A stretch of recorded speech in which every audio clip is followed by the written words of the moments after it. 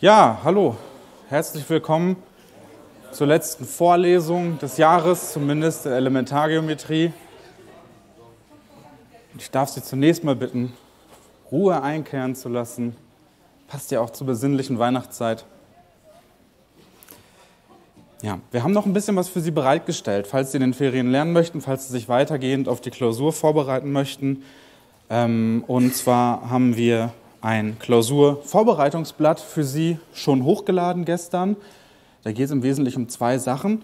Äh, entlang der Kapitel, mit denen wir uns bisher beschäftigt haben, also der Abbildungsgeometrie, der Ebenengeometrie und auch schon die Raumgeometrie, die nächstes Jahr noch kommen wird, haben wir Kompetenzen für Sie formuliert, also die Sachen, die Sie eigentlich unbedingt für die Klausur im Idealfall mitbringen sollten.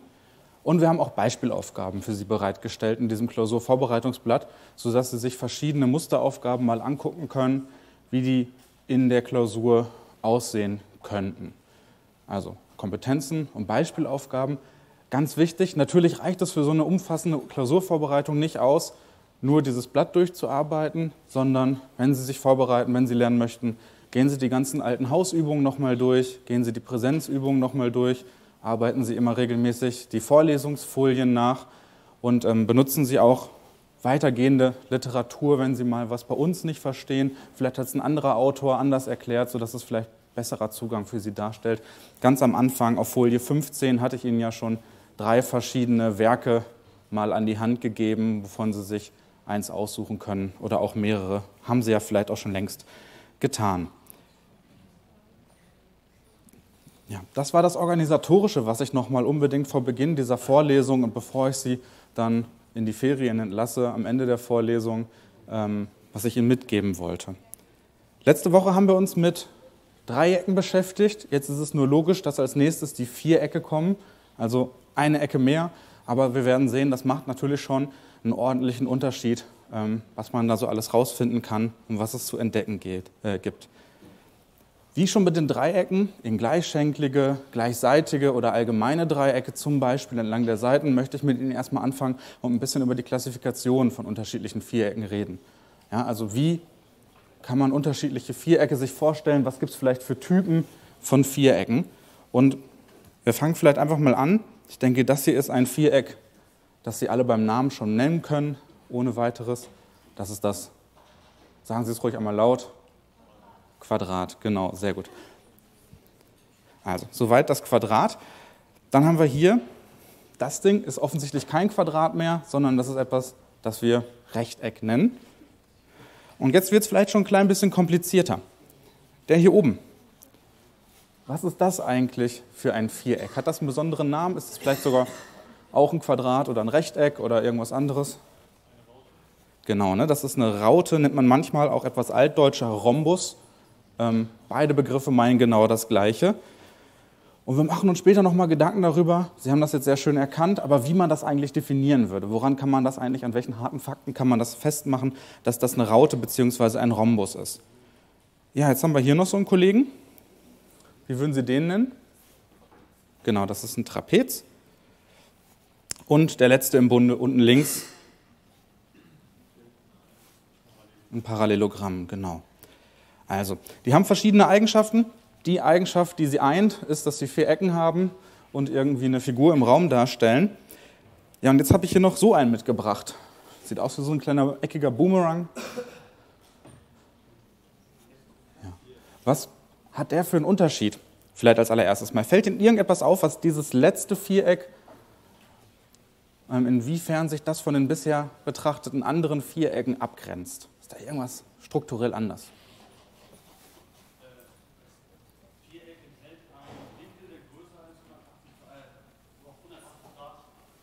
Genau, da, genau, das haben wir. Was hat das für Konsequenzen? Es gibt keine Parallelitäten zu sehen, genau, okay. Ja.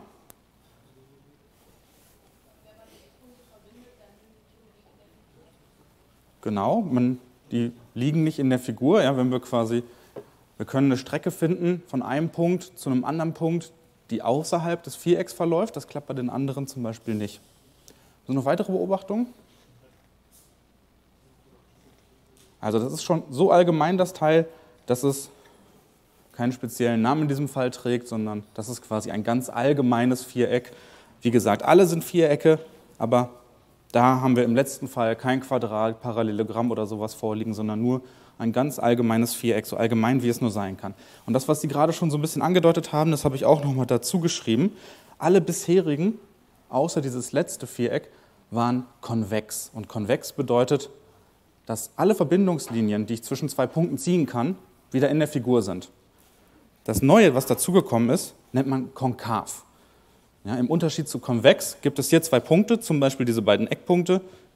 Wenn ich die mit einer geraden Strecke verbinden würde, würde die gerade Strecke außerhalb dieser Figur liegen, deswegen ist es konkav. Man muss nicht unbedingt auf die Eckpunkte schauen, auch die anderen Punkte spielen eine Rolle. Es reicht ja zum Beispiel schon den Punkt hier mit dem Punkt zu verbinden, dann ist die Verbindungsstrecke auch außerhalb der Figur. Und sobald eine Verbindungsstrecke außerhalb der Figur ist, spricht man von konkav und nicht mehr von konvex.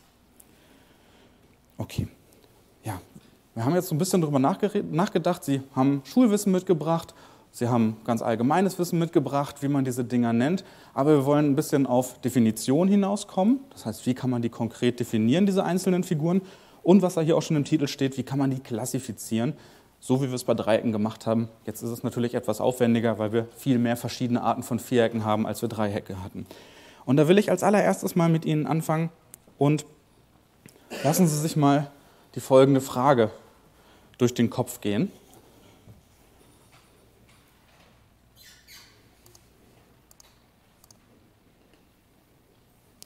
Und ich habe mal, das haben Sie ganz am Anfang der Vorlesung schon mal bei Herrn, äh, bei Herrn äh, Wagener gesehen. Gehen Sie mal auf diese Seite mit Ihrem mobilen Endgerät oder scannen Sie diesen QR-Code, wie Sie möchten. Und Sie haben einmal die Möglichkeit, dort Ihre individuelle Beantwortung dieser Frage einzugeben. Da haben Sie jetzt zweieinhalb Minuten Zeit für.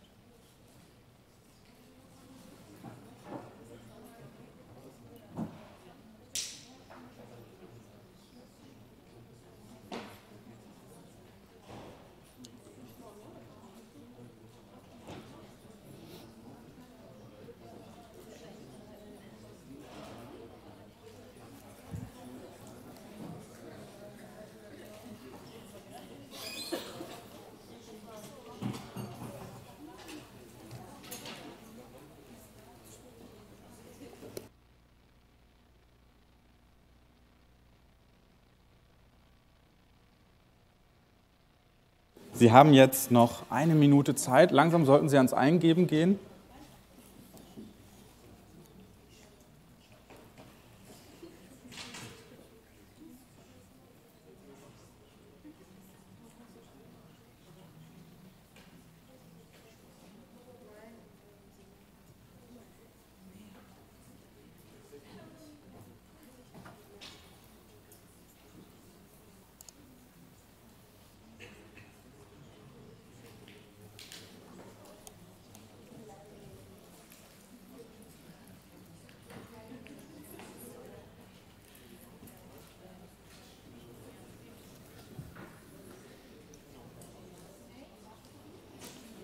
Zehn Sekunden.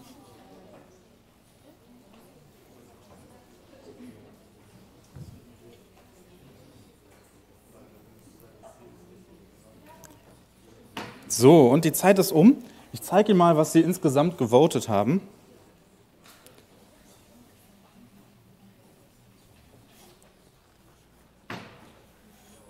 Also die überwiegende Mehrheit ist dafür, jedes Rechteck ist ein Parallelogramm. Ein paar Leute haben Trapez gesagt, etwas mehr haben Quadrat gesagt und auch ein paar Leute haben Raute gesagt. Okay. Vielleicht mal vom, von der großen Mehrheit der Teilnehmerinnen und Teilnehmer jemand, der mal kurz sagt, warum ist jedes Rechteck ein Parallelogramm?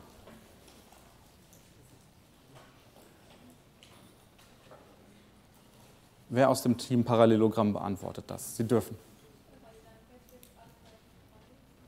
Weil im Rechteck alle, genau, jeweils gegen, ne, die jeweils gegenüberliegenden Seiten in einem Rechteck sind alle parallel.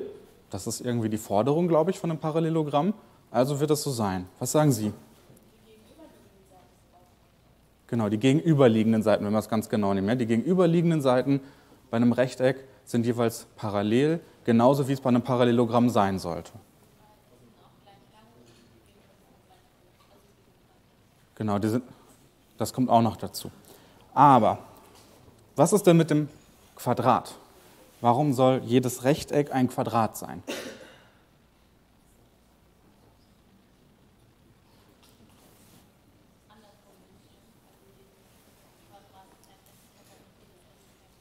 Genau, andersrum wird es stimmen. So rum ist es falsch tatsächlich. Also Quadrat ist schon mal nicht die richtige Antwort. Ja? Aber jedes Quadrat ist ein Rechteck, weil es ja auch rechte Winkel hat. Ja, und eben, dann passt das doch so ganz gut. Ja, Raute. Wie sieht es mit der Raute aus? Ist die Raute richtig?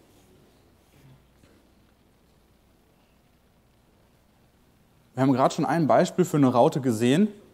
Ja, sagt man umgangssprachlich auch manchmal irgendwie Diamant zu, weil das eben so eine Diamantenform hat. Ähm, wir sehen schon sofort, das kann irgendwie nicht stimmen, weil die können ja ganz spitz zulaufen, so Rauten. Ja, das haben sie also richtig erkannt. Ähm, ein Rechteck, das einen rechten Winkel hat.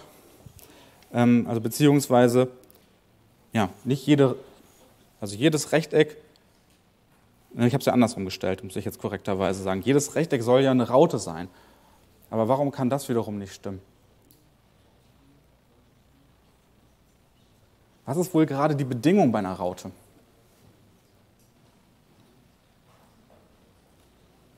Wie würden Sie Raute definieren? Hm? Genau, alle vier Seiten sind gleich lang. Und das muss bei einem Rechteck ja nicht der Fall sein. Wir können ein ganz langgezogenes Rechteck haben, eben dann, wenn Sie kein Quadrat haben. Ja? Das kann also nicht der Fall sein. Wir können also schon mal A und B sicher ausschließen. Was ist mit dem Trapez? Das wundert mich, um ehrlich zu sein, ein bisschen, dass sehr wenige das Trapez angegeben haben. Also die Aussage, die im Raum steht, ist, ist jedes Rechteck auch ein Trapez. Und tatsächlich ist es so wie wir gleich sehen werden. Also fieserweise, ich habe Ihnen nur die Möglichkeit gegeben, eine Antwort auszuwählen, aber sowohl C als auch D sind richtig, die anderen sind alle falsch.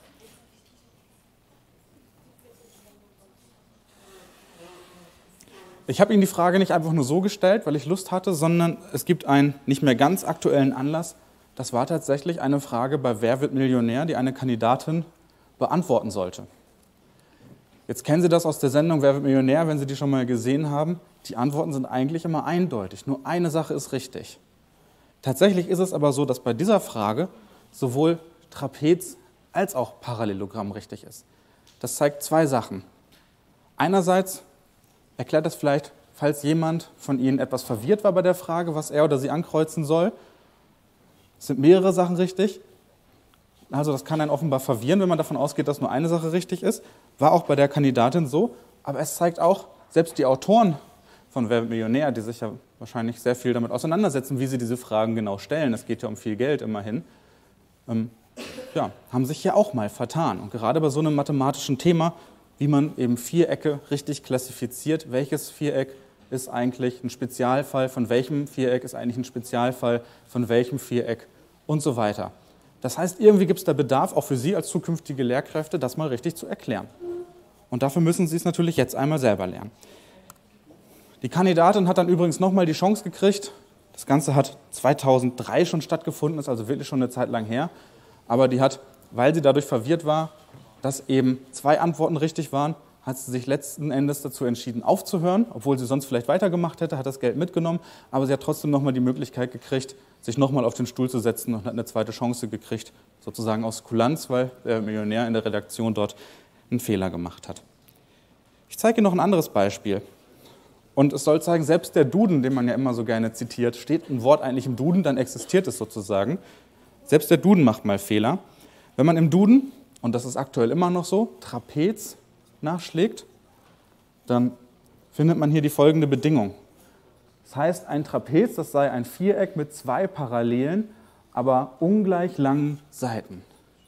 Und wenn ich hier recht habe und jedes Rechteck auch ein Trapez ist, kann diese Definition ja schon mal nicht mehr stimmen.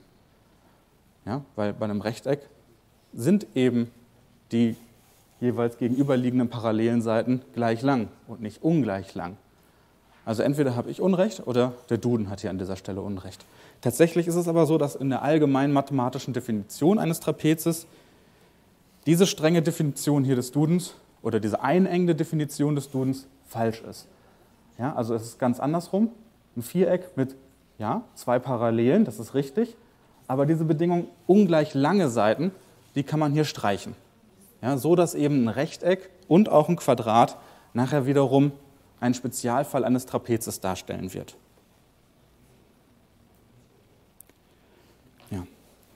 Ich nutze das mal, um jetzt mit Ihnen im Folgenden einfach mal die Definition sauber zu klären. Und Vierecke sind ja was, was wirklich eine Bedeutung in vielen verschiedenen Kontexten hat. Die sind in Kristallen bilden sich manchmal aus natürlichen Gründen Vierecke heraus. Vierecke haben in der Kunst eine Bedeutung, in der Architektur, wie Sie hier sehen, aber auch in der Technik. Bei so einer alten Eisenbahn oder Straßenbahn baut man aus irgendwelchen Gründen die Stromabnehmer in Form eines Vierecks. Die Frage ist, was ist das für ein Viereck? Könnte vielleicht eine Raute sein, vielleicht ist es nur ein Parallelogramm. Schauen wir mal. Und ähm, ja, so ein Drache in üblicher Form ist eben auch ein Viereck. Und hier habe ich noch mal ein kleines Beispiel. Das ist ein sogenannter Pantograph. Um den wird es auch in der heute erscheinenden Hausübung gehen. Das ist ein technisches, inzwischen aufgrund der Digitaltechnik überholtes Hilfsmittelchen, womit man eine Figur maßstabsgetreu vergrößern oder verkleinern kann. Sozusagen eine mechanische Realisierung einer zentrischen Streckung. Und ein Viereck, wie man vielleicht schon erahnen kann, spielt bei dem Teil eine ganz große Rolle. Ja, es ist also wichtig, dass da ein Parallelogramm in der Mitte eingefasst ist und nicht irgendwas anderes. Und dadurch funktioniert es eben so, wenn Sie da schon dieses gegebene rote Herz haben und das mit diesem einen Punkt hier systematisch abfahren, mit dem hier, dann ergibt sich eben das grüne, vergrößerte Herz, wenn Sie eine, einen grünen Stift an die andere Spitze dran schrauben. Also ein mechanisches Vergrößerungsinstrument, wenn man so möchte. Kommen wir zurück zur Klassifikation von Vierecken. Das habe ich gerade schon mündlich erklärt. Als allererstes kann man sich also mal die Frage stellen, sind die konvex oder sind die konkav? Konvex, nochmal, jede Verbindungsstrecke zweier Punkte des Vierecks liegt vollständig in der Figur. Also zum Beispiel so ein handelsübliches Quadrat wäre konvex. Oder konkav, und da hatten wir auch gerade ein Beispiel gesehen, nicht jede Verbindungsstrecke zweier Punkte des Vierecks liegt vollständig in der Figur. Es kann aber einzelne Verbindungsstrecken geben, die vollständig drin sind, aber eben nicht alle. Also das hatten wir nochmal als Beispiel gesehen und hier habe ich zwei exemplarische Strecken eingezeichnet, Verbindungsstrecken zwischen zwei Punkten des Vierecks, egal ob Eckpunkte oder nicht oder irgendwo aus der Fläche heraus, die eben außerhalb der Figur liegen. Wonach könnte man so ein Viereck noch klassifizieren? Denken Sie nochmal zurück ans Dreieck. Da haben wir einerseits nach den Winkeln klassifiziert. Ist es spitzwinklig, ist es stumpfwinklig und wir haben nach den Seitenlängen klassifiziert. Ist es gleichseitig, ist es gleichschenklich oder ist es ein ganz allgemeines Dreieck? Was fällt Ihnen bei den Vierecken ein? Nicht unbedingt dasselbe, vielleicht auch irgendetwas anderes, wonach man klassifizieren könnte.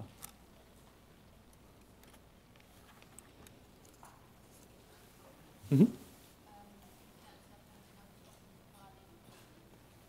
Parallelität, genau. Gibt es also parallele Seiten? Gibt es gar keine parallelen Seiten? Das wäre eine Sache.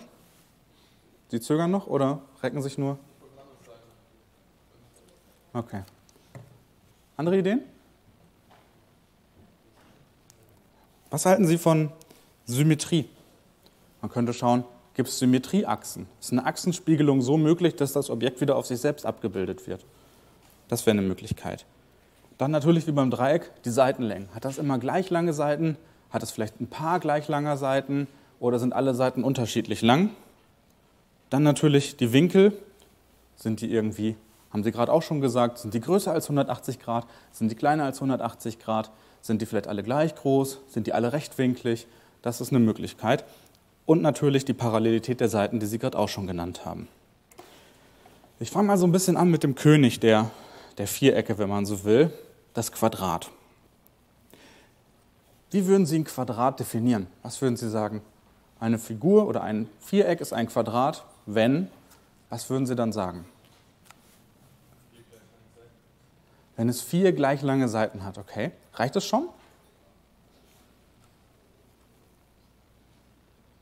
Hm? Vier gleich große Winkel. Äh, zu, als Ergänzung oder als alternative Definition? Was sagen Sie? Als Ergänzung, ja, beides zusammen braucht man, ja. Wenn man sagt, die, sind, die sollen nur gleich lang sein, vier gleich lange Seiten, dann haben wir wieder, und da haben Sie ja uns gerade schon die Definition von einer Raute genannt, eine Raute mit drin. Wenn wir nur sagen, die sollen vier rechte Winkel haben, das Viereck soll nur vier rechte Winkel haben, dann fassen wir das Rechteck. Wir brauchen beides zusammen. Vier gleich lange Seiten und vier rechte Winkel, dann haben wir das Quadrat. Also Viereck mit vier rechten Winkeln ist keine vollständige Definition, Viereck mit vier gleich langen Seiten ebenfalls nicht und ein Viereck mit vier gleich großen Winkeln würde auch nicht klappen, reicht auch nicht und eben Viereck mit vier rechten Winkeln und gleich langen Seiten, das führt auf ein Quadrat. Aber ich habe ja gerade noch mal einen anderen Zugang irgendwie geliefert, zum Beispiel Symmetrie. Was würden Sie sagen, wie viele Symmetrieachsen hat eigentlich ähm, so ein Quadrat? Vielleicht überlegen wir uns das erstmal. Zählen Sie mal durch. Wie viele Symmetrieachsen hat ein Quadrat?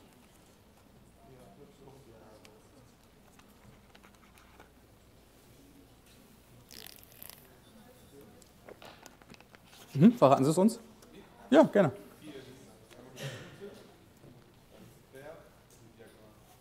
Also ungefähr so. Ne? Ich habe das mal vorbereitet. Also tatsächlich vier Achsen.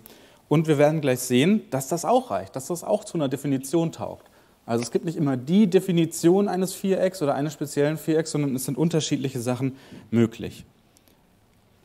Es reicht also, diese vier Symmetrieachsen zu fordern als festlegende Eigenschaft. Und so könnten wir jetzt diese Definition treffen, die habe ich mal 8.1a genannt. Suggeriert schon, da kommt gleich noch ein 8.1b hinterher. Ähm, ein Viereck mit vier Symmetrieachsen heißt Quadrat. Und tatsächlich ist es so, weil ein Viereck vier Symmetrieachsen hat, dann ist es ein Quadrat. Ja, ein Rechteck kriegt das zum Beispiel nicht mehr hin, vier Symmetrieachsen zu haben, weil das mit den Diagonalen nicht klappen würde. Das ist eher so die Schulbuchdefinition, die 8.1b. Das ist die, die wir uns gerade erarbeitet haben. Also ein Viereck mit vier rechten Winkeln und vier gleich langen Seiten heißt Quadrat. Beides sind mögliche Definitionen. Das heißt, man sagt auch, die sind äquivalent. Also jede Definition 8.1a kann man aus 8.1b herausholen und aus 8.1b kann man 8.1a folgern. Beides würde funktionieren. Beides sind erlaubte Definitionen eines Quadrats und sicherlich gibt es noch mehr. Das spare ich jetzt aber hier an der Stelle aus. Wir haben uns ja schon mal darüber Gedanken gemacht, wann sind eigentlich Definitionen äquivalent. Das haben wir in der Präsenzübung so ein bisschen mit Ihnen gemacht und das wollen wir auch nochmal machen in der Übung. Und ich fange mal ein bisschen an mit, mit dem Beweis der Äquivalenz dieser beiden Definitionen für Sie. Und zwar will ich jetzt erstmal zeigen, wenn ich Definition 8.1a fordere, also wenn ich sage, vier Symmetrieachsen soll das Teil haben, dann folgt daraus auch automatisch dass es ein Quadrat im Sinne der Schulbuchdefinition sein muss. Dass wir also vier gleich lange Seiten haben und dass wir vier rechte Winkel vorliegen haben. Wir nehmen also mal die Definition aus 8.1a gegeben an und sagen, okay, da liegt irgendwo ein Viereck rum und das hat vier Symmetrieachsen. Jetzt könnte man überlegen, wie geht man vor? Man versucht sich vielleicht erstmal vorzustellen, wie das Viereck aussieht. Lösen Sie sich mal von Ihrer Vorstellung eines Quadrats Sie haben einfach ein allgemeines Viereck und irgendjemand garantiert Ihnen einfach, das hat vier Symmetrieachsen. Jetzt ist die Frage, wie könnten diese Symmetrieachsen liegen? Und das wird jetzt auf eine Fallunterscheidung hinauslaufen. Wo könnte so eine Symmetrieachse sein? Wie würden Sie vielleicht unterscheiden? Vielleicht kommt jemand drauf.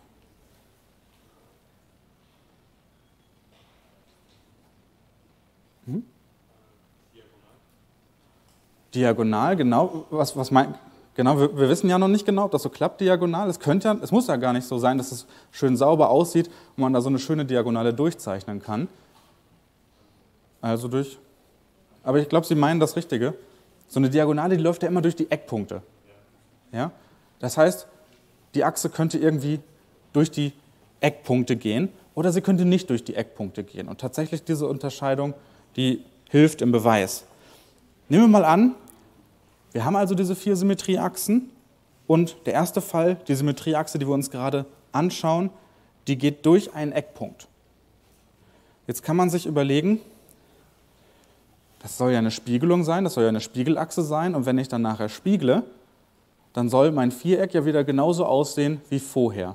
Insbesondere sollen aber auf beiden Seiten dann wieder gleich viele Eckpunkte sein, sonst klappt das nicht, weil wenn ich spiegle, und wenn ich mir jetzt die anderen Eckpunkte angucke, die nicht auf der Spiegelachse sind, und ich spiegle rüber, dann liegt er ja nach der Spiegelung auf der anderen Seite. Die Figur soll aber an sich wieder genauso aussehen. Das heißt, auf der anderen Seite muss auch irgendwo ein Gegenspieler sein, der durch die Spiegelachse auf die andere Seite wiederum rübergeworfen wird. Wir brauchen also auf jeder Seite gleich viele Punkte. Also nach der Spiegelung müssen wieder gleich viele Eckpunkte auf beiden Seiten liegen. Und das geht nur, weil wir ein Viereck haben, wenn auf jeder Seite gleich viele Punkte sind. Und das wiederum geht nur, wenn die Symmetrieachse auch durch einen zweiten Eckpunkt geht. Wenn also diese eine Symmetrieachse, die wir uns vorgestellt haben, die durch einen Eckpunkt geht, auch nachher durch einen zweiten geht. Sonst könnten wir die Punkte, die drei übrigen, nicht so aufteilen, dass gleich viele auf beiden Seiten der Achse wären. Okay. Jetzt ist die Frage, kann so eine Symmetrieachse auch durch zwei benachbarte Punkte laufen? In Ihrer Vorstellung, wenn Sie sich so ein Viereck vorstellen, dann legen Sie die Diagonale ja nicht durch die benachbarten Eckpunkte, sondern durch die Eckpunkte, die sich, die sich jeweils gegenüberstehen. Ja? Das heißt, die Frage ist, kann das auch über eine Kante laufen, diese Symmetrieachse? Was wäre dann der Fall? Ich habe leider. Ich mache das mal einmal hier. Wir haben also irgendein Viereck ich mache jetzt mal extra kein, ich mache jetzt extra kein Quadrat dahin, sondern ich mache es ein bisschen anders. Kann ja sein, dass das gar nicht stimmt, was wir hier versuchen zu zeigen. Wir haben schon gesagt, wenn eine der Symmetrieachsen durch einen Eckpunkt geht, dann muss sie auch durch den anderen laufen. Das heißt, das wäre eine Möglichkeit. Die Frage ist, beziehungsweise hier erstmal nochmal die Begründung, liegt einfach daran, naja, das Teil soll ja nach, es soll ja eine Symmetrieachse sein, das heißt, nach dem Spiegeln soll es wieder genauso aussehen. Also muss der Eckpunkt hier rüber gehen und der Eckpunkt darüber gehen. Ja, Soweit haben wir uns das gerade schon erarbeitet. Ist die Frage, muss das so sein? Oder wäre auch das eine Möglichkeit? Also kann die Symmetrieachse auch durch zwei benachbarte Punkte gehen. Sie schütteln den Kopf, aber versuchen Sie mal in Worte zu fassen, warum.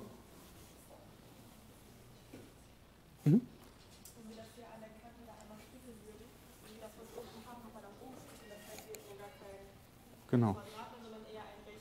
Genau, und wir haben ja auch gerade schon gesagt, auf jeder Seite der Spiegelachse müssen gleich viele andere Punkte sein, die nicht auf der Achse liegen. Wenn ich jetzt spiegle, dann liegen die, wie Sie schon sagen, die Punkte nachher da oben und ich habe eine ganz andere Figur. Ich kriege nicht wieder dieselbe Figur raus. Das heißt, das kann schon mal nicht der Fall sein. Also nein, sonst ist die Anzahl der Punkte auf beiden Seiten wieder falsch. Wir haben also diese eine Situation. Wenn eine dieser Spiegelachsen durch einen Eckpunkt geht, dann geht sie auch durch, die andere, durch den anderen gegenüberliegenden Eckpunkt. Also die ist schon mal weg. Geht nicht. Aber das geht natürlich noch. Ja, also wenn sie durch den Eckpunkt geht, dann geht sie auch durch den gegenüberliegenden Eckpunkt. Jetzt ist die Frage, was ist noch möglich? Das ist jetzt der zweite Fall. Die Symmetrieachse geht durch keinen Eckpunkt. Ist die Frage, wo kann sie dann liegen? Da muss sie irgendwie durch eine Seite gehen dann muss sie, weiß ich nicht, vielleicht so hier irgendwie durchgehen, wenn sie keinen Eckpunkt trifft. Das würde jetzt soweit schon mal klappen. Wir haben irgendwie hier einen, der dann rüberkommt, hier einen, der vielleicht rüberkommt. Aber Sie sehen schon, das kann mit so einer Achsenspiegelung hier jetzt gerade nicht aufgehen. Das heißt, der muss sogar die Seite an einer ganz speziellen Stelle schneiden. Also soweit schon mal die Argumentation. Ne? Wenn man sagt, okay, die Symmetrieachse geht durch keinen Eckpunkt, dann muss sie durch eine Seite gehen, und zwei durch diese benachbarte Eckpunkte müssen aufeinander abgebildet werden. Soweit haben wir schon argumentiert. Aber wo geht die jetzt wohl durch? Genau, die muss durch die Mitte gehen, sonst klappt das mit der Achsenspiegelung nicht. Sonst würde der Punkt nicht auf den durchgehen. Das heißt, die muss sowohl hier durch die Seitenmitte gehen und hier durch die Seitenmitte gehen. Also mit anderen Worten, die Symmetrieachse muss dann eine Mittelsenkrechte der Seite sein. Und wenn wir die Mittelsenkrechte haben und die soll auf beiden gegenüberliegenden Seiten jeweils Mittelsenkrechte sein, dann kommt die hier schon mal nicht in Frage. Dann können wir also nur die machen, die soll sowohl hier einen rechten Winkel haben als auch da. Und wir können die machen, die hat hier einen rechten Winkel und hat hier einen rechten Winkel. Wir wissen, das Teil hat vier Symmetrieachsen und wir haben uns erarbeitet, es gibt zwei Symmetrieachsen, wenn man fordert, dass sie durch den Punkt geht. Es gibt zwei andere Symmetrieachsen, wenn man fordert, dass sie nicht durch den Punkt geht, also durch eine Seite geht. Das heißt, wir haben alle vier Symmetrieachsen hier jetzt einmal gezeichnet. Die müssen also so liegen wie hier in meiner etwas schöneren Skizze auf der Folie. Gut, und jetzt können wir uns überlegen, wenn die so liegen und die entsprechenden Seiten dann auch immer gleich lang sind, das Mittelsenkrechte sind, dann muss hier rauskommen, dass jeweils an den Eckpunkten rechte Winkel sind und dass die Seiten alle gleich lang sind. Das heißt, man kriegt an der Stelle, dass wenn man 8.1a fordert, man alle Bedingungen aus 8.1b rauskriegt, ja, nämlich alle Seiten gleich lang und jeweils rechte Winkel. Und die andere Richtung, Sie können also voraussetzen, Sie haben ein Viereck mit vier gleich langen Seiten und vier rechten Winkeln dann hat es auch genau vier Symmetrieachsen. Die überlassen wir Ihnen mal für die Hausübung an dieser Stelle. Ja, soweit eine Beweisrichtung. Die andere funktioniert ein bisschen anders, aber ähm, ist, glaube ich, nicht so schwer. Kommen wir mal zu den anderen prominenten Vierecken. Oder erst zu Ihrer Frage.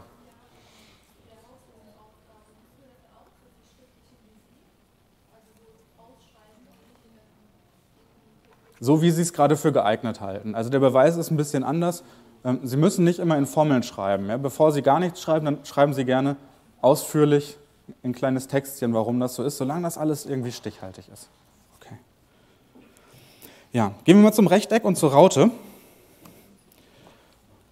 Wenn wir mal in dieser Grunddefinition eines Quadrats, also vier gleich lange Seiten, vier rechte Winkel, ein paar Eigenschaften weglassen und zum Beispiel sagen, okay, wenn man jeweils nur eine der Eigenschaften fordert, dann kommen genau die beiden als allgemeinerer Fall dabei heraus. Also ein Viereck mit vier rechten Winkeln, das nennen wir Rechteck. Und ein Viereck mit vier gleich langen Seiten heißt Raute bzw. Rhombus, haben wir gerade schon drüber geredet. Das heißt mit anderen Worten, jedes Quadrat ist ein Rechteck, jedes Quadrat ist eine Raute, aber nicht jede Raute und nicht jedes Rechteck unbedingt ein Quadrat. Ja, so rum stimmt es nicht. Hier sehen Sie nochmal die wohl berühmteste Raute. Und das habe ich jetzt schon ein bisschen vorweggegriffen. Also jedes Rechteck ist ein Quadrat. Können wir schon sagen, nein, das stimmt nicht. Jede Raute ist ein Quadrat, stimmt auch nicht. Aber andersrum klappt es. Wir sehen hier nochmal ein Beispiel, das Logo des HSVs. Da haben wir zum Beispiel eine Raute drin stehen, die aber gleichzeitig auch ein Quadrat ist. Andersrum beim Renault-Logo haben wir auch eine Raute. Aber Sie sehen schon, das sind keine rechten Winkel, die sich einstellen. Sie haben nur vier gleich lange Seiten. Deswegen haben wir sozusagen eine echte Raute und nicht gleichzeitig ein Quadrat an dieser Stelle. Also jedes Quadrat ist auf jeden Fall ein Rechteck, habe ich gerade schon gesagt. Und jedes Quadrat ist auch eine Raute. So rum stimmt es wieder. Noch eine Frage. Es gibt Rechtecke, die auch Rauten sind. So rum geht es auch wieder. Ja? Also es gibt Rechtecke, die auch Rauten sind, aber nicht alle Rechtecke sind auch Rauten. Genauso gibt es auch Rauten, die auch Rechtecke sind. Okay, so viel zu diesen Figuren. Jetzt haben wir schon das Quadrat, das Rechteck und die Raute. Fehlt noch das Parallelogramm. Haben wir gerade schon so ein bisschen drüber geredet. Und das kam auch schon so ein bisschen vor gerade. Reicht es auch bei einer Raute zu fordern, dass jeweils gegenüberliegende Seiten parallel sind? Könnte man sich jetzt fragen.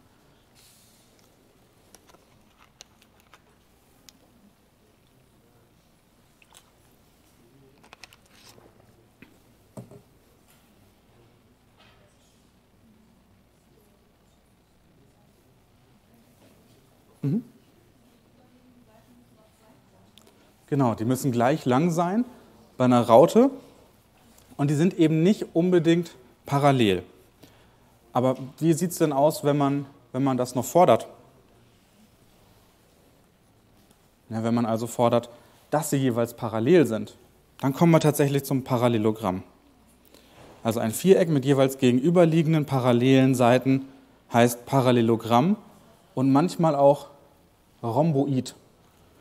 Rhomboid, dieses Id hinten dran, das kommt sprachlich, habe ich mal für Sie nachgeschlagen, ähm, vom Folgenden. Und zwar ist das so ein nachgestelltes Wortbildungselement mit der Bedeutung ähnlich seiend.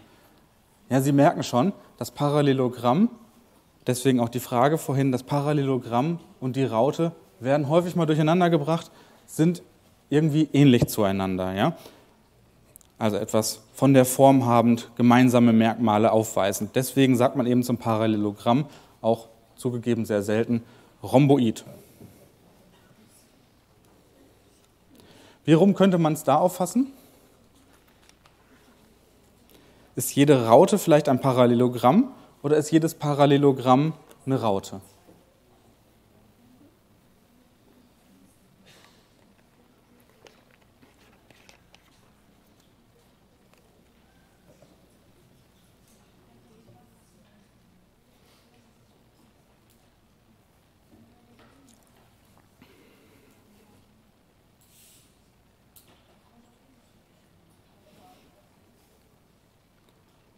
Habe noch mal ein Beispiel mitgebracht. Wie wir gleich sehen, jede Raute ist ein Parallelogramm, aber nicht jedes Parallelogramm unbedingt eine Raute. Bei einem Parallelogramm können die Seiten unterschiedlich gleich lang sein. Bei einer Raute müssen sie gleich lang sein und sind dadurch auch parallel. Also, das Parallelogramm ist ein allgemeinerer Fall, die Raute ist ein spezielles Parallelogramm, wenn man so will. Ja, hier sehen wir nochmal im Logo der Deutschen Bank, um nochmal bei den Logos zu bleiben, wie wir es am Anfang der Vorlesung schon mal gemacht haben. Ein Parallelogramm in so einem Quadrat drin, aber man sieht schon, das ist keine Raute. Ja, das, ist also, das sind zwei ganz unterschiedliche Dinge hier in dem Fall. Kommen wir zum nächsten, da haben wir auch gerade schon drüber geredet und das war irgendwie bei der Millionärfrage gerade auch irgendwie ein wichtiger Fall. Das, äh, das Trapez. Da wäre die Frage, was passiert, wenn man nur ein paralleles Seitenpaar fordert? Wenn man also sagt, wir haben gerade bei der Raute gesagt, vier gleich lange Seiten, wenn man Parallelogramm gesagt, jeweils gegenüberliegende Seiten sollen parallel sein. Wenn ich jetzt wiederum sage, nur ein Paar gegenüberliegender Seiten soll parallel sein, dann kriege ich das Trapez. Also ein Trapez ist allgemein ein Viereck mit zwei gegenüberliegenden parallelen Seiten und das heißt eben Trapez. Beim Trapez gibt es ein Problem, was viele Menschen haben. Und zwar, wenn sich die Leute ein Trapez vorstellen, dann stellen sie sich das üblicherweise so vor. Vielleicht sah das bis eben in ihrem Kopf auch noch genauso aus. Das ist, damit es hier nicht zu Missverständnissen kommt, das ist ein Trapez. Aber auch das hier ist ein Trapez. Ja, also ein Trapez muss nicht unbedingt symmetrisch sein, muss diese Symmetrieachse nicht haben.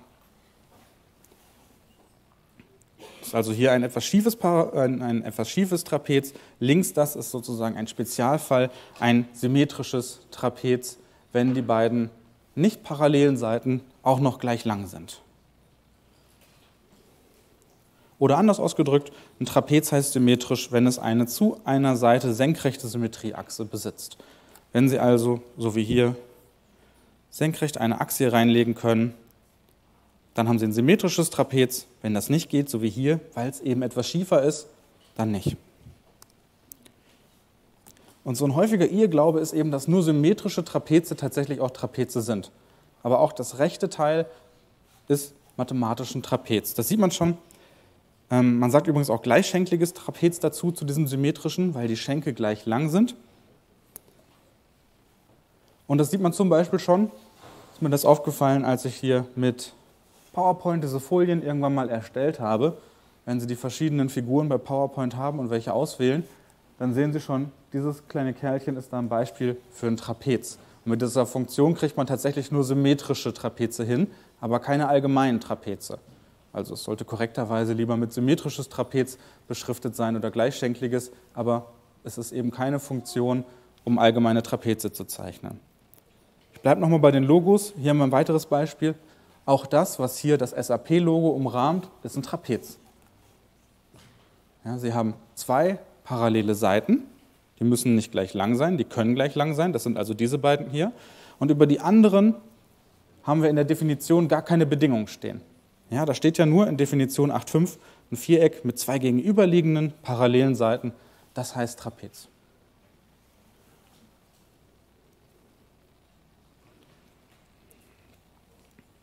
Eins haben wir vorhin noch gesehen.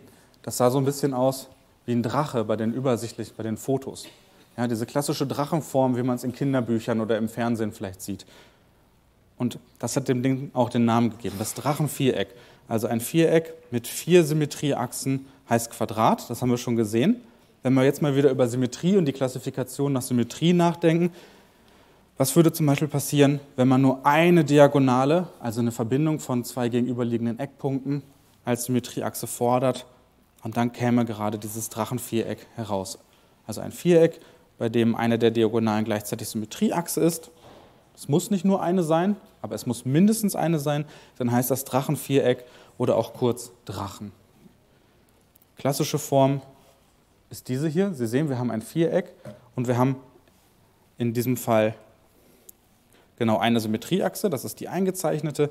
Das hier ist keine Symmetrieachse, weil wir eben auf beiden Seiten unterschiedlich weit rauszerren, dieses Viereck. Es kann aber auch anders aussehen. Es kann aussehen wie so ein Lenkdrachen. In dem Fall hätten wir keinen konvexen Drachen, sondern einen konkaven Drachen. Hat auch eine Symmetrieachse, erfüllt also auch die Definition.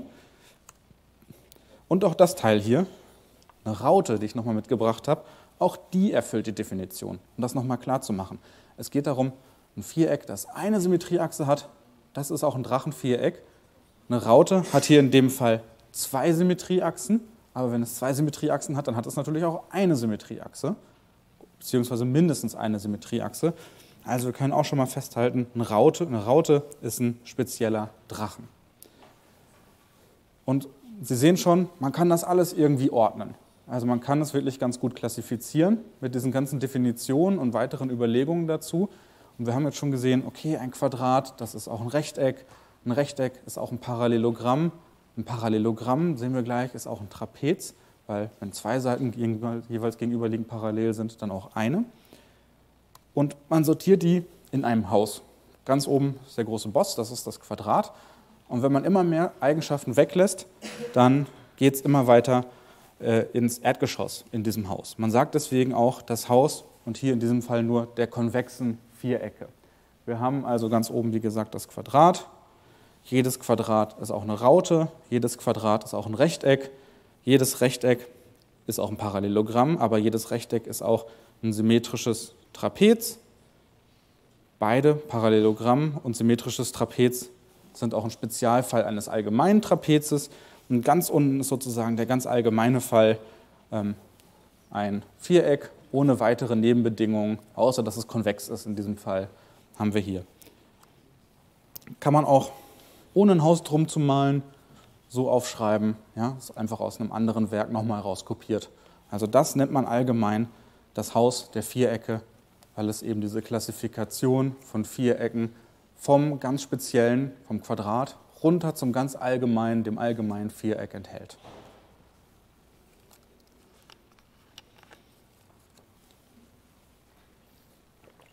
Um nochmal auf Wer Millionär zurückzukommen, haben also wirklich diese beiden Bedingungen oder diese beiden Antworten, Trapez und Parallelogramm, war beides richtig.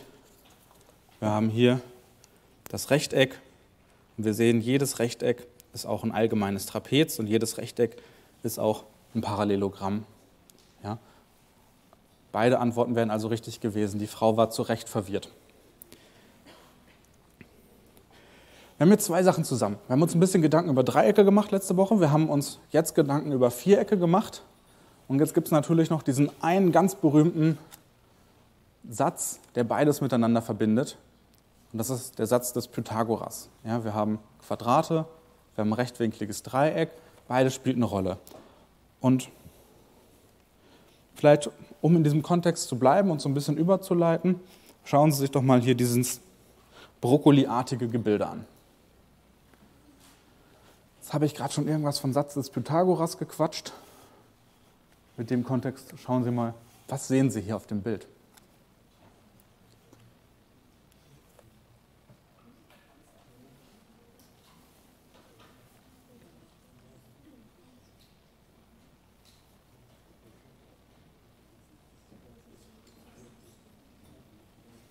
Finden Sie hier irgendwo den Satz des Pythagoras?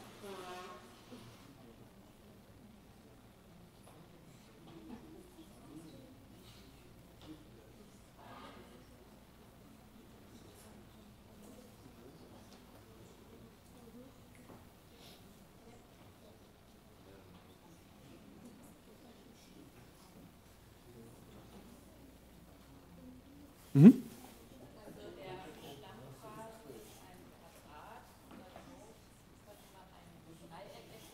Ich kann Sie gerade nicht so ganz verstehen, Entschuldigung. Ihre Kommilitonen sind noch etwas zu laut. Wieder auf dem linken Flügel. Bitte.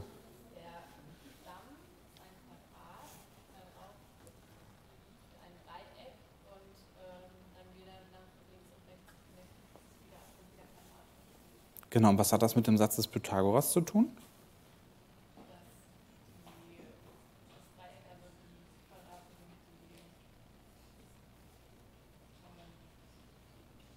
Helfen Sie Ihrer Kommilitonin doch mal. Haben Sie es oder? Nein? Also Quadrate. Hier ist irgendwie ein Dreieck. Ganz unten der Stamm ist ein Quadrat.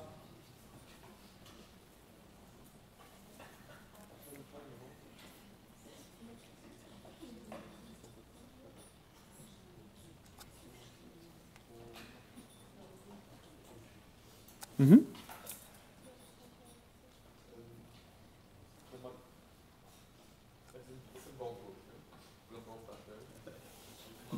Sieht aus wie Baum oder Brokkoli, egal, ja.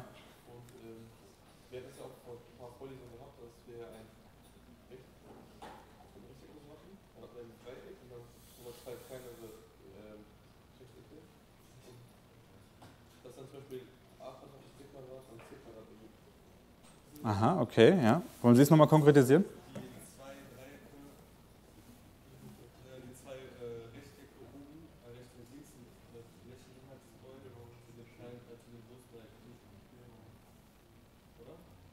Moment, also. Ja, was haben Sie gesagt?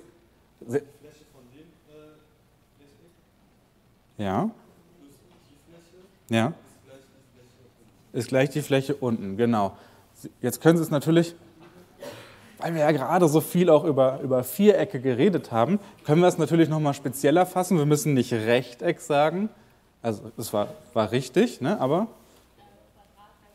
genau, es sind sogar Quadrate.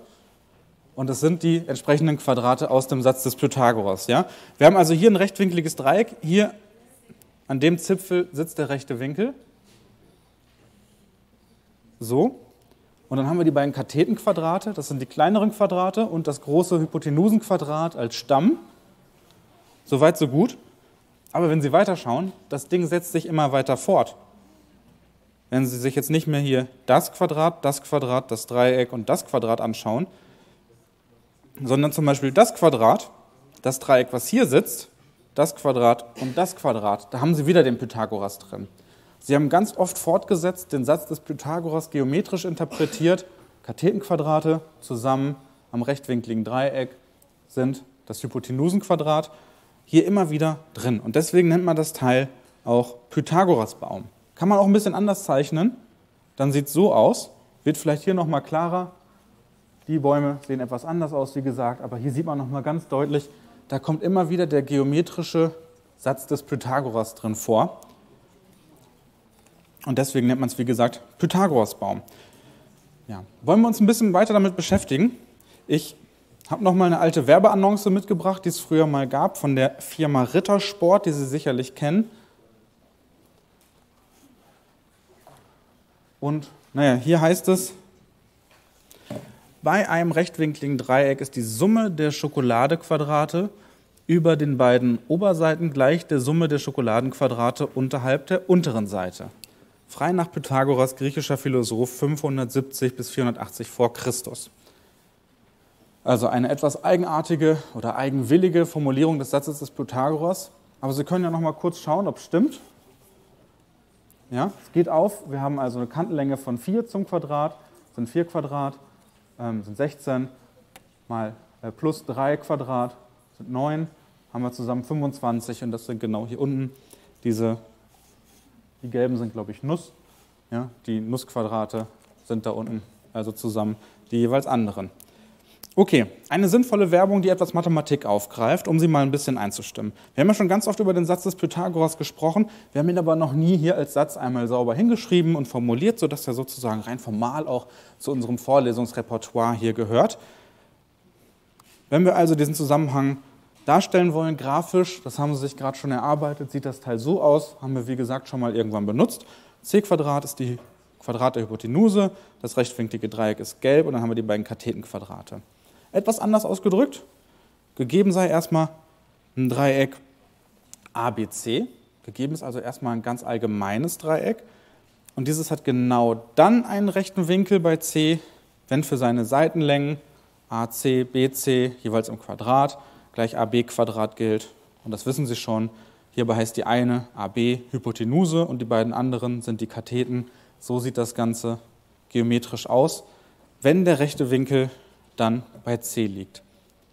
Aber einen wichtigen Punkt, ich habe das schon mal versucht, irgendwie äh, hier so ein bisschen einzustreuen. Der Satz des Pythagoras funktioniert tatsächlich in beide Richtungen. Wir haben ja gerade auch wieder über die Richtung von der Definition oder von der Äquivalenz geredet. Und hier ist das auch wieder der Fall.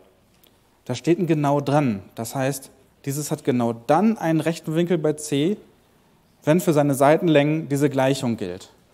Wer kann noch mal genau erläutern, was dieses genau dann, da dann bedeutet?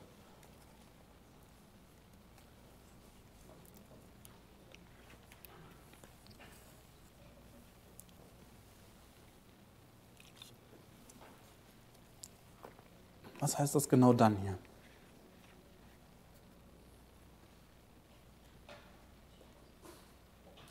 Mhm.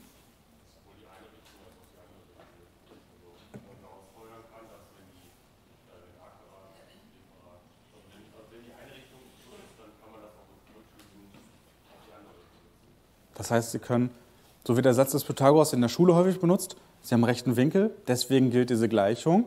Aber so wie Sie sagen, ne, wenn die Gleichung gilt, dann muss da auch ein rechter Winkel sein. Also beide logischen Schlüsse sind erlaubt im Satz des Pythagoras. Die zweite Variante ist etwas unpopulärer, wissen viele Leute entsprechend nicht. Ja? Und wir erarbeiten uns das auch noch, warum das genauso ist. Also gelten die Längenverhältnisse bei einem Dreieck entsprechend, kann man also folgern, dass da ein rechter Winkel sein muss. Und wenn solche Zahlen entsprechend ähm, diese Eigenschaft erfüllen, wenn also eine Zahl a zum Quadrat plus eine Zahl b zum Quadrat gleich eine Zahl c zum Quadrat ist, dann nennt man alle drei Zahlen auch zusammen pythagoreisches Trippel. Weil wenn man ein, äh, ein Dreieck mit diesen Kantenlängen zeichnet, hat es automatisch einen rechten Winkel. Das sagt dann die Rückrichtung des Satzes des Pythagoras. Wir hatten schon mal kurz darüber geredet, ganz am Anfang der Vorlesung, und zwar als wir uns die alten Ägypter angeschaut haben. Die hatten diese zwölf Knotenschnur. Einfach zum Hintergrund. Zwölf Knoten deswegen, weil fünf plus vier plus drei jeweils im Quadrat. Das ergibt auch so ein pythagoreisches Trippel, wie man hier sieht. 3 Quadrat plus 4 Quadrat ist gleich 5 Quadrat. Das heißt, wenn man so eine 12-Knoten-Schnur nimmt, daraus ein Dreieck entsprechend formt, sodass man auf einer Kantenlänge Abstände von 3 hat, auf einer Abstände von 4, auf einer Abstände von 5, dann ergibt sich automatisch ein rechter Winkel. Das wussten die Ägypter schon. Die haben also diese Rückrichtung des Satzes des Pythagoras benutzt in der Architektur, im Bauwesen, wie man das hier kurz skizziert sieht. Ja, beim Satz des Pythagoras, den kennt irgendwie jeder. Das ist das, was die meisten Leute aus ihrer allgemeinen Mathematikbildung aus der Schule, auch wenn sie nicht Mathe studieren, mitnehmen nach dem Abitur oder auch nach der allgemeinbildenden Schule, wenn man nur die mittlere Reife macht oder so, haben das die meisten Leute noch in Erinnerung. Aber ein Beweis wahrscheinlich die wenigsten. Ich will mir mit Ihnen mal einen anschauen. Und wie wir gerade schon gesehen haben, sind die Richtungen da wichtig. Das heißt, es ist wichtig, wie rum wir logisch argumentieren. Ich mache jetzt mit Ihnen erstmal die Standardrichtung. Wir gehen also erstmal davon aus, wir haben einen rechten Winkel einem Dreieck gegeben. Mit anderen Worten, wir haben ein rechtwinkliges Dreieck. und wir wollen zeigen, dass auch diese Gleichung gilt. Ja, also so rum argumentieren wir jetzt logisch.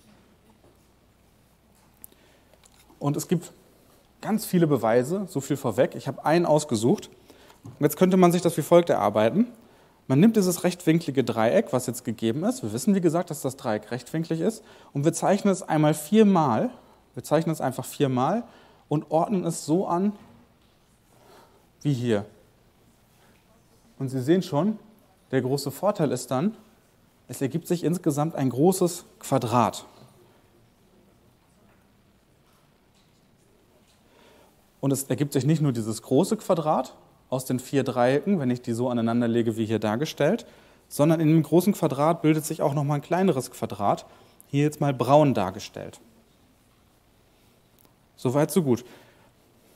Jetzt können wir uns natürlich überlegen, was ist der Flächeninhalt des großen Quadrats?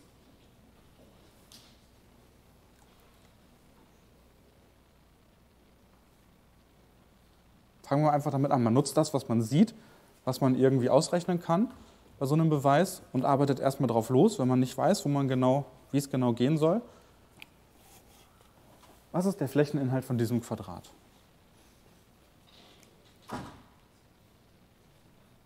Mhm. Bitte? Vom Großen. a mal b zum Quadrat, ja, nicht ganz. a plus b in Klammern zum Quadrat. Ne? Wir haben das so gebaut, völlig richtig, dass da jeweils zwei unterschiedliche Katheten immer eine Kantenlänge bilden. Deswegen muss ich die erstmal zusammennehmen, um die Gesamtlänge zu haben. Und dann, weil es ein Quadrat ist, quadriere ich. a plus b zum Quadrat, Sie erinnern sich, kann ich auch schreiben mit der ersten binomischen Formel als a Quadrat plus 2ab plus b Quadrat. Jetzt kommen wir zum kleinen Quadrat. Da wollten Sie gerade schon drauf los. Wenn Sie wollen, dürfen Sie es jetzt nochmal sagen. c Quadrat, ne? Genau. Das, grau, äh, das braune Quadrat hat also den Flächeninhalt c Quadrat. Gut, jetzt können wir uns noch überlegen, was ist denn der Flächeninhalt von einem grünen Dreieck? Ein halb mal a mal b. Ne? Allgemeine Formel, ein halb Grundseite mal Höhe. Die Höhe stellt hier zum Beispiel das B da, A ist die Grundseite, so kann man es sich hier denken. Und wenn wir vier Stück von den Dingern haben, dann haben wir also die insgesamt grün dargestellte Fläche, alle vier Dreiecke zusammen, ist 4 mal A, äh, 4 mal 1,5 mal A mal B. Ganz allgemein, ich habe also insgesamt dieses große Quadrat, ich habe das kleine Quadrat, ich habe diese vier Dreiecke. Jetzt könnte ich folgende Gleichung aufstellen. Die Fläche von dem braunen Quadrat ist ja dasselbe wie die Gesamtfläche von dem großen Quadrat minus die vier Dreiecke. Und das Tolle, wenn ich das alles einsetze, die Fläche von dem kleinen Quadrat ist c Quadrat. Die Gesamtfläche haben wir uns gerade schon hier oben erarbeitet. Minus die vier Dreiecke. Und wenn ich alles ausrechne, kommt raus, c Quadrat ist gleich a Quadrat plus b Quadrat. Und der Beweis ist an der Stelle soweit durch. Was haben wir gemacht? Ähm, man hat, der Trick stand hier in diesem Beweis quasi da drin, dieses eigentliche Dreieck, um das es geht, das rechtwinklige Dreieck, viermal darzustellen, es etwas anders anzuordnen und daraus das zu einer neuen Struktur, nämlich dem großen Quadrat, zu ergänzen. Dann die verschiedenen Flächeninhaltsformeln anzuwenden, alles ein bisschen zusammenzunehmen und am Ende haben wir tatsächlich c Quadrat ist gleich a Quadrat plus b Quadrat. Also aus dem rechten Winkel folgt die Gleichung des Pythagoras. Wenn das wirklich eine Äquivalenz ist, dann muss das natürlich auch andersrum funktionieren. Das heißt, aus der Gleichung soll auch der rechte Winkel, äh, soll auch der rechte Winkel folgerbar sein. Das ist die, wie gesagt, etwas unpopulärere Variante. Wir wissen also, für irgendein Dreieck gilt auf jeden Fall a plus b gleich c Was wir noch nicht wissen, ist, ob hier der Winkel Gamma tatsächlich ein rechter Winkel ist.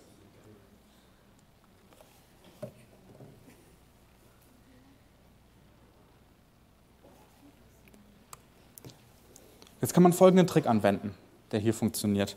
Man nimmt einfach mal ein zweites, und zwar ein braunes Dreieck, so wie gerade das braune Quadrat, ähm, und da nehmen wir einfach diese Kantenlängen a und b her und bauen das so, dass dann rechter Winkel ist. Wie gesagt, also das Problem ist, wir wissen jetzt, b plus a ist schon gleich c aber wir wissen noch nicht, ob Gamma wirklich ein rechter Winkel ist. Das wollen wir jetzt zeigen. Das ist das Ziel. Ich nehme also einfach ein zweites Dreieck und sage, ähm, ich mache einen rechten Winkel da rein und ich nehme die Kantenlängen b und a, die ich schon kenne, ja, aus der Gleichung, die gegeben ist. Dann kann ich noch nichts über die Länge dieser Seite sagen, denn den Satz des Pythagoras, den haben wir jetzt zunächst mal erstmal noch nicht. Das heißt, ich weiß auch gar nicht, ob dieses, ich nenne es mal C', ob diese Strecke hier genauso lang ist wie diese Strecke. Jetzt kann ich aber wie folgt argumentieren. Ich habe ja schon die Hinrichtung des Satzes. Ich weiß ja schon, wenn da ein rechter Winkel ist, dann gilt auch die Gleichung. Jetzt habe ich mir ein Dreieck gebaut, das hier die Kantenlänge b hat, hier die Kantenlänge a und einen rechten Winkel hat. Also kann ich auch die, die Richtung, die wir gerade benutzt haben, zur Anwendung bringen. Und für dieses kleine braune Hilfsdreieck gilt jetzt schon die Hinrichtung. Das heißt, wir wissen, a plus b ist gleich c Quadrat. Wir wissen aber auch, a plus b ist gleich c Quadrat. Das ist die Voraussetzung. Wir können also einfach sagen, okay, wenn a plus b gleich c ist, a plus, c, plus b gleich c ist, da muss auch c gleich c sein und da muss auch c gleich c sein. So können wir uns das erarbeiten. Und wenn wir jetzt nochmal sagen, okay, jetzt haben wir da ein Dreieck, dieses Dreieck hier mit Kantenlängen b, a und c' und dieses hier mit denselben Kantenlängen ähm, liegt da auch so rum. Das hier hat einen rechten Winkel, hier wissen wir noch gar nichts über den rechten Winkel, aber wir wissen ja, beide Dreiecke haben jeweils drei gleich lange Seiten. Dann nehmen wir den Kongruenzsatz SSS und können direkt sagen, okay, beide Dreiecke sind kongruent. Und wenn beide Dreiecke kongruent sind und das hier da einen rechten Winkel hat, dann muss das hier bei Gamma auch einen rechten Winkel haben. Ja? Und so sind wir fertig. Jetzt haben wir also beide Richtungen. Wichtig beim Satz des Pythagoras gehen also beide Richtungen. Aus dem rechten Winkel folgt die Gleichung, aus der Gleichung folgt der rechte Winkel. Und wir haben beide mal bewiesen. Beim zweiten haben wir einen Kongruenzsatz noch zur Anwendung gebracht. Ich habe gerade schon so ein bisschen angedeutet, beim Satz des Pythagoras, das ist sicherlich oder wahrscheinlich sogar der mathematische Satz, der am häufigsten irgendwie aus Liebhaberei auch zur Mathematik hin unterschiedlich bewiesen wurde. Es war also jetzt insgesamt einer von ganz vielen existierenden Beweisen des Satzes des Pythagoras. Es gibt natürlich auch wieder eine Website, die über 120 verschiedene Beweise für den Satz des Pythagoras alleine listet. Nochmal ganz interessanter Fun fact am Rande. Ähm, den hat man so nicht mehr in Erinnerung, weil es schon etwas länger her ist, aber James A. Garfield, 20. Präsident der USA, hatte auch einen mathematischen Hintergrund. Der war nämlich Mathematiklehrer und er hat selber auch einen dieser Beweise ähm, dazu beigesteuert. Schauen wir gleich noch mal kurz rein. Generell. Wenn man sich die Beweise zum Satz des Pythagoras anschaut, gibt es unterschiedliche Beweise. Allgemeine algebraische Beweise, solche Flächenergänzungs- und Zerlegungsbeweise, wie wir das gerade hatten, Beweise, wo man Kongruenzen oder Ähnlichkeiten, so wie gerade mit dem braunen Dreieck und dem grünen Dreieck benutzen muss, und auch abbildungsgeometrische Beweise, insbesondere Scherungsbeweise, haben wir schon mal gesehen, wenn Sie sich an den Kathetensatz und den Beweis dazu erinnern und natürlich Mischformen.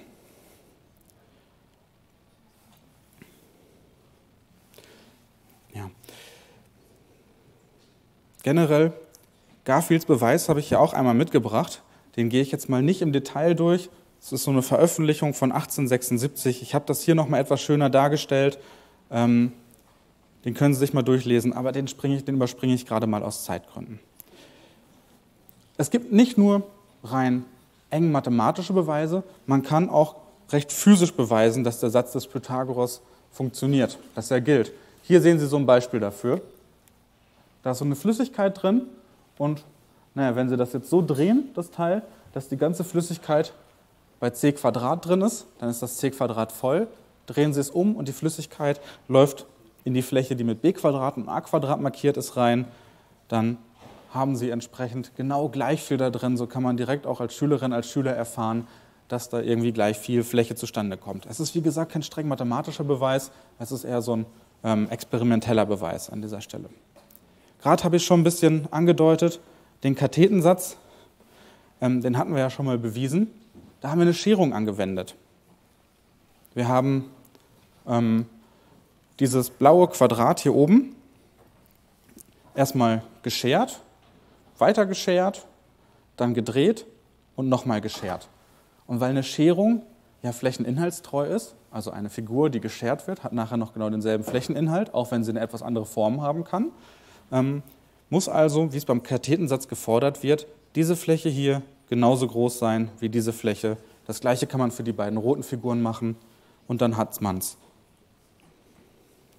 Interessanterweise ist das auch ein Beweis des Satzes des Pythagoras. Warum beweist das gleichzeitig auch den Satz des Pythagoras? Ich habe es ja schon eingeblendet, warum, aber überlegen Sie nochmal.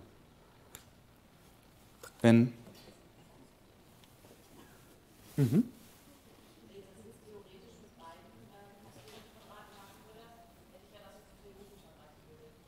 Genau. Also Sie können die gleiche Prozedur also auch für die beiden roten Figuren machen. Und der Satz des Pythagoras sagt, okay, das Quadrat plus das Quadrat ist gleich dieses große Quadrat. Wenn also das Quadrat gleich diesem Rechteck ist und das Quadrat gleich diesem Rechteck ist, dann ist auch die Summe dieser beiden Quadrate die beiden Rechtecke zusammen, die eben das große Hypotenusenquadrat bilden. Also wir haben sogar schon, ohne dass Sie es großartig gemerkt haben, als wir den Kathetensatz mal über eine Scherung bewiesen haben, schon einen weiteren Beweis des Satzes des Pythagoras gesehen. Ich habe das schon ein paar Mal irgendwie hier fallen lassen. Der Satz des Pythagoras, ähm, ja, der besteht irgendwie nicht alleine. Es gibt drei wichtige Sätze. Sie müssen jetzt noch irgendwie ein paar Minuten durchhalten.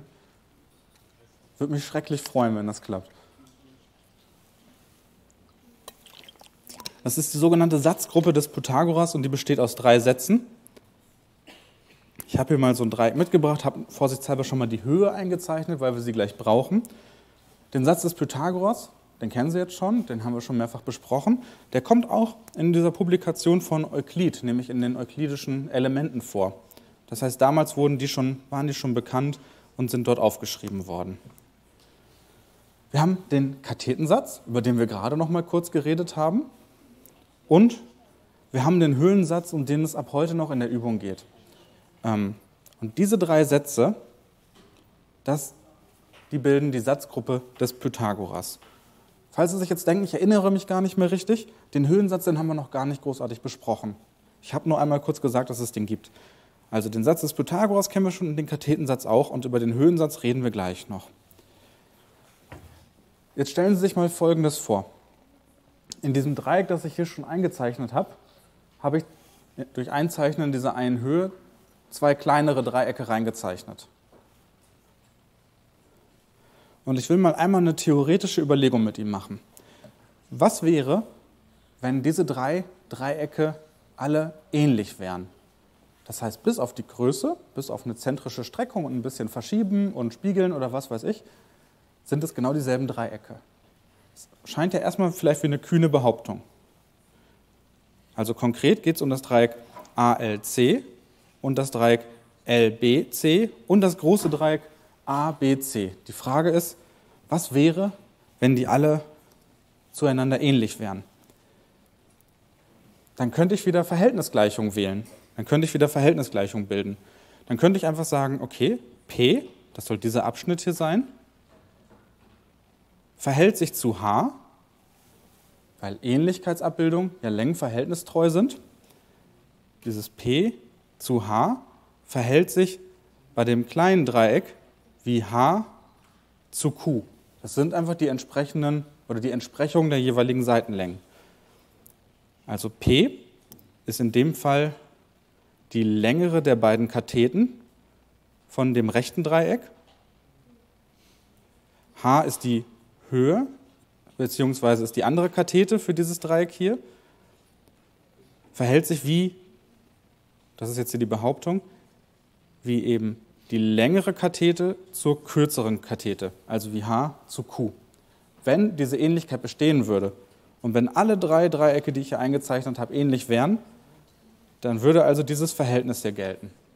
Und wenn Sie das umstellen und das h rüberholen auf die andere Seite, dann haben Sie der h ist gleich p mal q stehen. Und das ist der Höhensatz.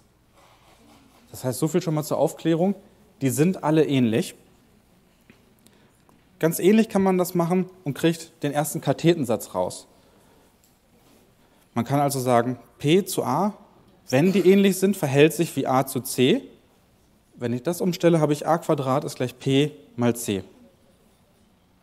Leute, das geht so nicht. Sie sind mir echt zu laut, gerade in diesem Sektor. Diese, so links von der Kamera, die drei Reihen. Auch Sie meine ich. Hallo? Auch Sie meine ich.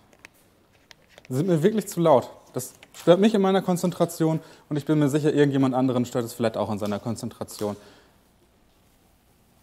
Halten Sie noch eine Viertelstunde durch. Tun Sie mir den Gefallen.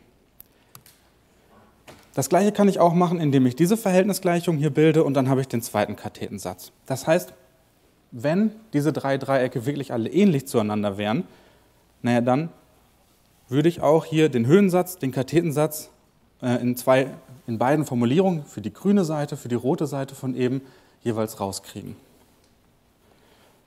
Und interessanterweise ist es auch so, wenn ich das jetzt nutze und wenn ich jetzt sage, okay, wenn ich jetzt mal ausrechne, was a Quadrat plus b Quadrat hier in diesem Fall ist, a Quadrat plus b Quadrat, dann kriege ich genau dasselbe raus. Das ist nämlich pc plus qc, wenn Sie diese Formeln hier einfach jeweils anwenden. Und dann haben Sie hier am Ende auch wieder, wenn Sie das etwas umstellen, den Pythagoras da stehen. Das heißt, dass das gleich c Quadrat ist.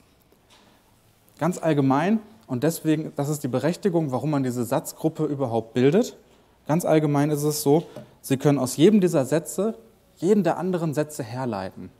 Ja, mit etwas Mühe und etwas experimentieren. Das kann ganz algebraisch funktionieren, ähm, das kann aber auch geometrisch funktionieren, so wie wir das gerade im Fall gesehen haben. Gerade haben wir gesehen, gut, der Beweis des Kathensatzes ist rein geometrisch betrachtet, auch der Pythagoras, aber auch so wie hier algebraisch aus dem ersten und zweiten Kathetensatz kriegt man entsprechend wieder den Pythagoras dabei heraus. Überlegen wir uns noch mal ganz kurz, warum das überhaupt stimmt. Ich habe diese Behauptung gerade in den Raum geworfen dass diese, dass diese drei Dreiecke tatsächlich alle ähnlich sind. Die Frage ist, warum könnte das funktionieren? Warum könnte das stimmen? Ich fange mal mit dem hier an. Und zwar gehe erstmal nur davon aus, okay, das Dreieck ALC, das ist also das hier, ALC, und das Dreieck ABC, das ist das große, das große ganze Dreieck. Die sollen ähnlich sein kann man sich überlegen, warum das so ist. Gehen wir mal zum Beispiel über die Winkel. Welche gemeinsamen Winkel haben die? Mhm. Die haben beide einen rechten Winkel. Da kennen wir schon mal einen Winkel in beiden Dreiecken. Also beide haben offenbar einen rechten Winkel. Schauen Sie sich nochmal das kleine linke Dreieck an und das große ganze Dreieck. Was ist da noch gemein?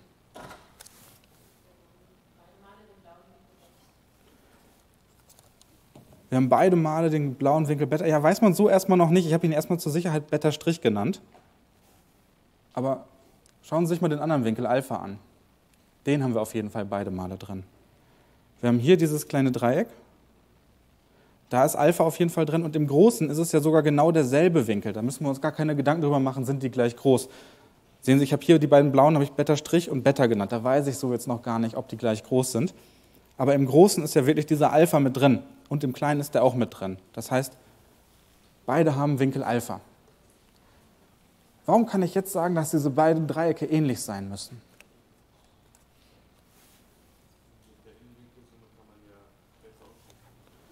Genau. Genau, ne? das heißt, ich nehme 180 Grad, ziehe 90 Grad für den rechten Winkel ab, ziehe die Größe von Alpha ab, dann kann ich den dritten Winkel rauskriegen.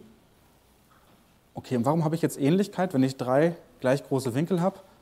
Da haben Sie diesen Ähnlichkeitssatz, WWW haben wir den mal genannt, also Dreieck, zwei Dreiecke, die jeweils ähm, drei Pärchen von gleich großen Winkel haben, die müssen ähnlich zueinander sein. Wenn Sie das rechte Dreieck machen, wenn Sie sich das rechte Dreieck anschauen, also dieses Dreieck LBC und das große Dreieck, dann können Sie genau auf die gleiche Weise auch argumentieren, warum die beiden ähnlich zueinander sein müssen. Und dann kann man dieses Argument mit dem Winkel Beta anbringen. Ja, dann kann man sagen, okay, dieses rechte kleinere Dreieck und das ganz große Dreieck, die verfügen ja beide über denselben Winkel Beta in genau dem gleichen Sektor. Ja, und dann ähm, machen wir das wieder ganz analog. Und jetzt bin ich sogar schon fertig mit meinem Beweis. Schauen Sie mal, ich habe ja behauptet, diese drei Dreiecke sind alle ähnlich. Also ALC, das linke, LBC, das rechte kleine und ABC, das ganz große. Und wenn wir diese beiden Schritte gemacht haben und gesagt haben, ALC ist ähnlich zu ABC, LBC ist ähnlich zu ABC, dann folgt doch eigentlich, dann fehlt ja noch eine Sache.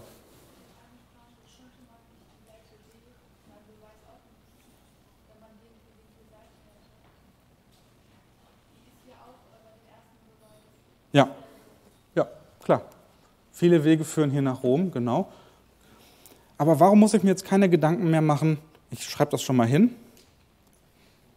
Es folgt, ALC ist ähnlich zu LBC. Wir haben jeweils immer das eins der Kleinen genommen und gezeigt, das ist ähnlich zum großen Ganzen. Das linke Kleine ist ähnlich zum großen Ganzen. Das rechte Kleine ist ähnlich zum großen Ganzen. Warum sind auch die beiden Kleinen zueinander jetzt ähnlich?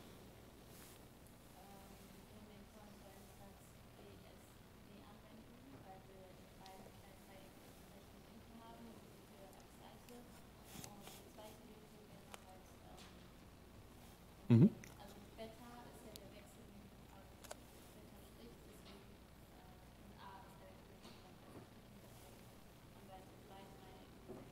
So wird es gehen. Das heißt, wir gehen quasi nochmal Schritt für Schritt und wenden wieder einen Ähnlichkeitssatz an.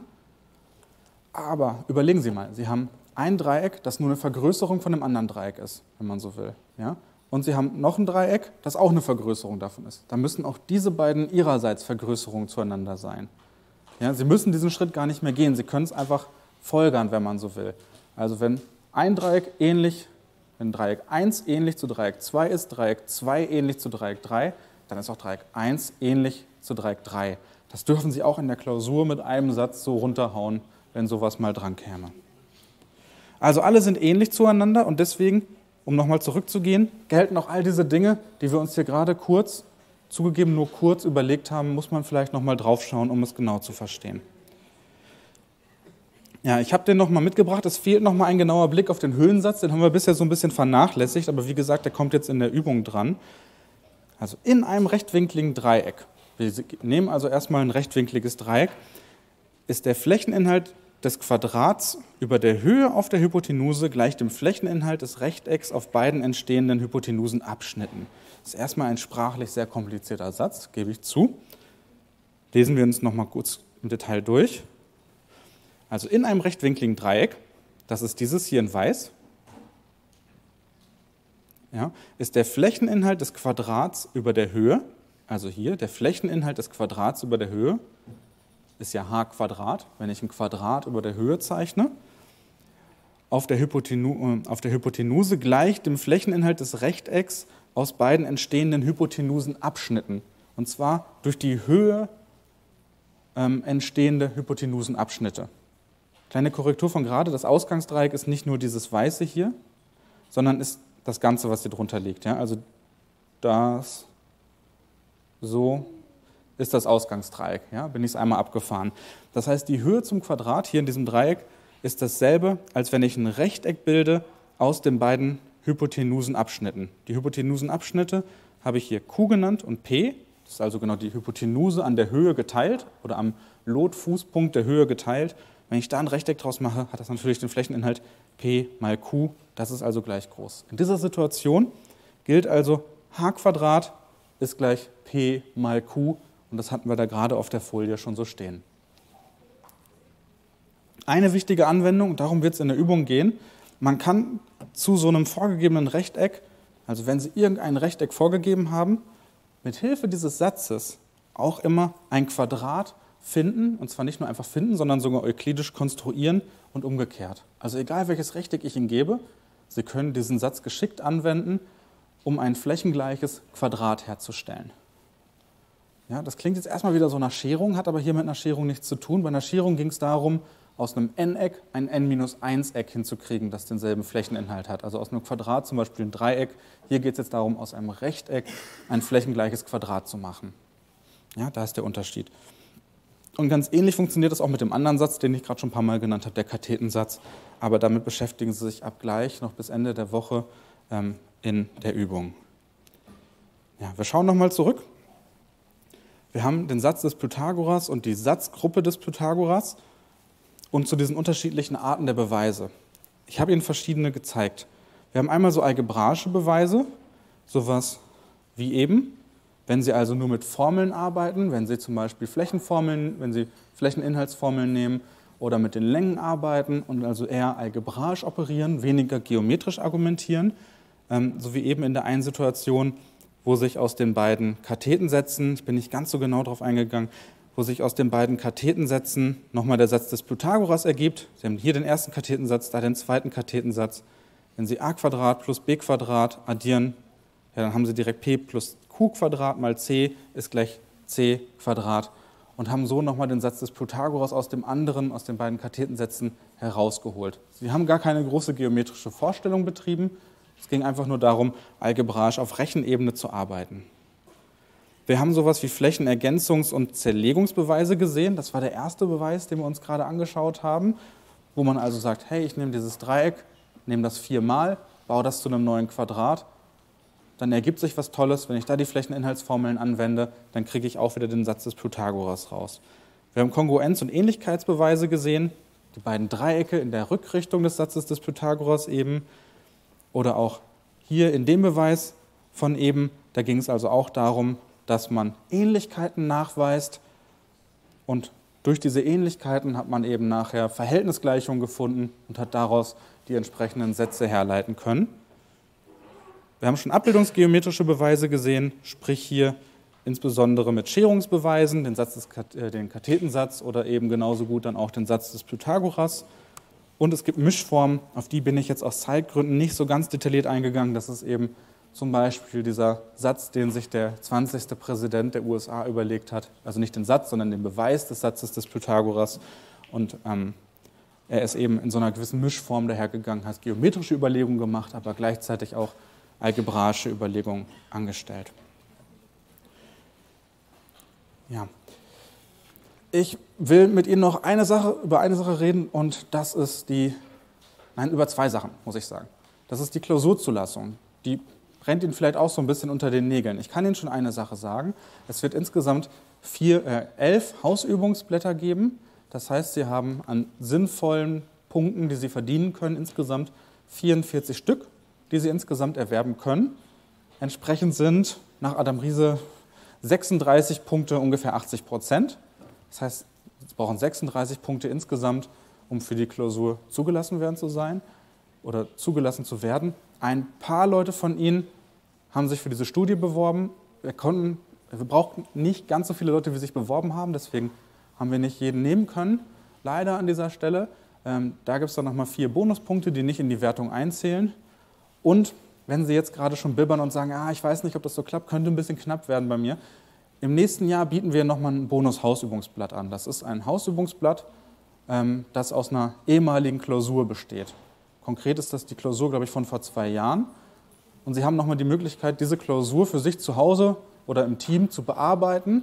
Und die Punkte, die, die Sie da drin kriegen, die übersetzen wir dann in Bonuspunkte. Ja? Das heißt, Sie haben da nochmal die Möglichkeit, vier Bonuspunkte zu kriegen, die nicht in die Gesamtwertung einfließen. Hier gibt es noch eine Frage. Hm? Vier Bonuspunkte für die Zulassung, nicht für die Klausur. Also für die Klausurzulassung können Sie da nochmal vier weitere Punkte verdienen. Okay. Dann habe ich nur noch eins. Dann wünsche ich Ihnen frohe Weihnachten. Kommen Sie einfach gleich nach vorne. Frohe Weihnachten und einen guten Rutsch ins nächste Jahr. Bis dann.